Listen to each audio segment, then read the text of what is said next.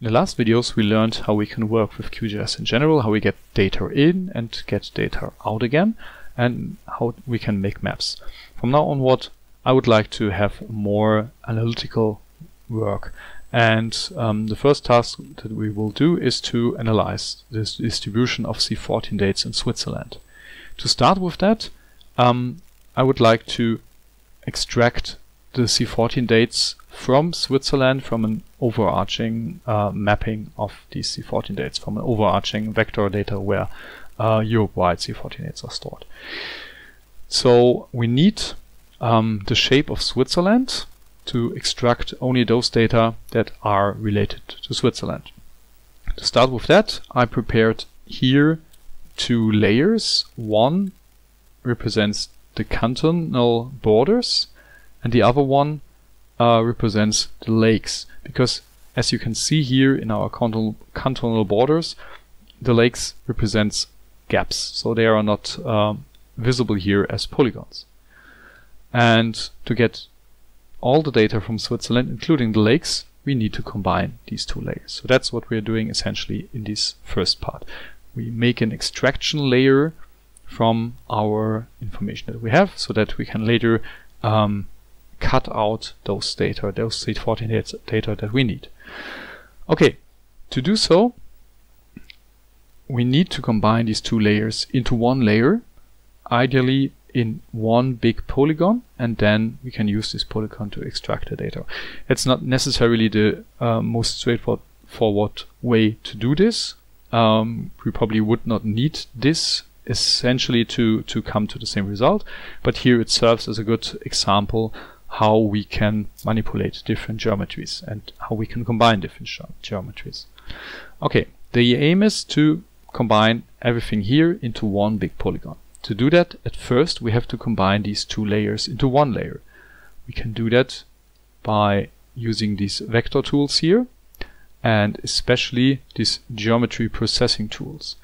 And there we find um, the usual um, set theory uh, methods, for example, finding the difference, or this here it's called symmetric difference, or the union, uh, the, the intersection of two layers, or the union. And that's what we in the end want to achieve. So we want to have all the information from one layer and all the information from the other layer combined in a new layer. So we, what we are doing here is union oder Vereinigung in the German uh, menu system here. So when I click on that, um, here in this window, I'm asked to specify one input layer that can be our cantonal borders and the overlay layer.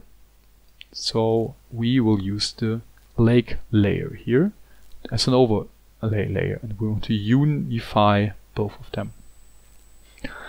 Um, that's more or less all what you can specify here. There are some advanced parameters that are not of relevance for us at the moment.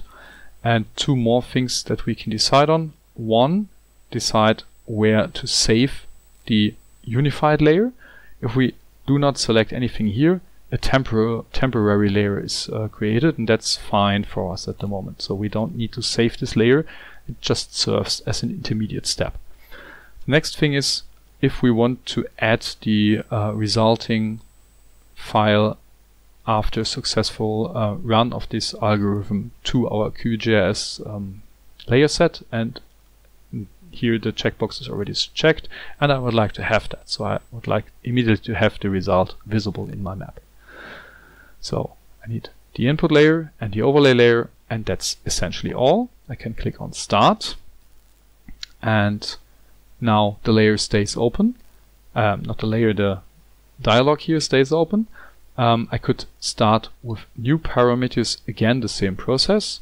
Here what we now see is the protocol and it was a success, so algorithm um, union is finished and we can close that. And now we have here very green, in my case, layer. And when I remove this or when I make this invisible, you can see here in the background, it covers all the other layers. We can also look into the attribute table there we see that now we have here the uh, columns of the two layers combined into one layer. And also we can see that we have here our lakes and up here we have our cantons available. And this usually is um, um, intermixing. So we have on one hand we have all the cantons and on the other hand we have all the lakes here.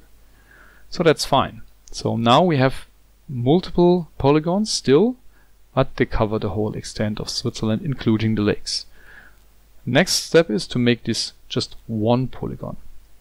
To do that we can again go to vector and then to geometry processing tools. And here is the item of dissolve, auflösen, where from the picture it already says that you now combine the polygons into one big polygon. So we do that. Here we only have to specify one input layer, that's our union layer that we just created, the temporary one.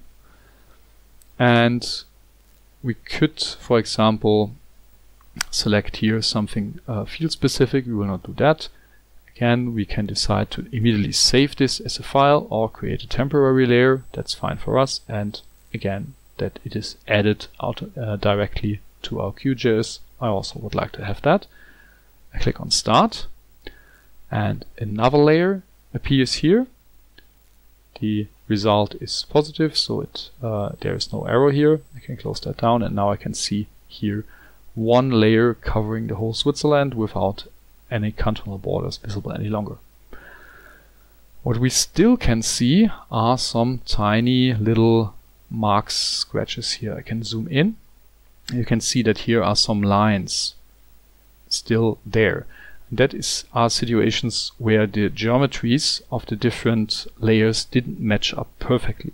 So here we have some small gaps that are really tiny, but still in GIS the results in something that's visible here. We probably would like to remove these and to do so I have to switch to the edit mode and beside this add new polygon object that we already used here is the uh, vertices tool if I click on that I can go over the map here, you can see that here are a lot of little points. So I can zoom to one and if I would click and drag this somewhere, I can edit this, this vertices. Can go inside here and show you that with this one. Um, probably the color is not perfect to see that. Um, maybe I'll switch fast the filling to something where this sticks out more. So now you can see here here's the vertex, vertex and I can select that and then I can drag that around to somewhere else. So with that you can change the output or the structure of your map. But what we essentially would like to do is to remove them. So I can just make a rectangle here to select all of them and then I just click on uh, delete on my keyboard and then this is gone. I can repeat that for all the other vertices that doesn't make any sense here for us. So I go over the whole map.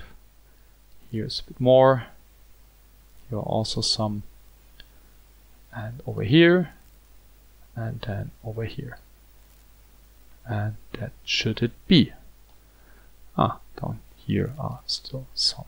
So these are small errors in the uh, geometries that we now just removed.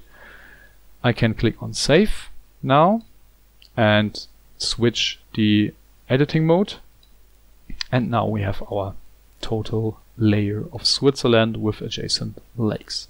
And what we can do with that, I will show you in the next video.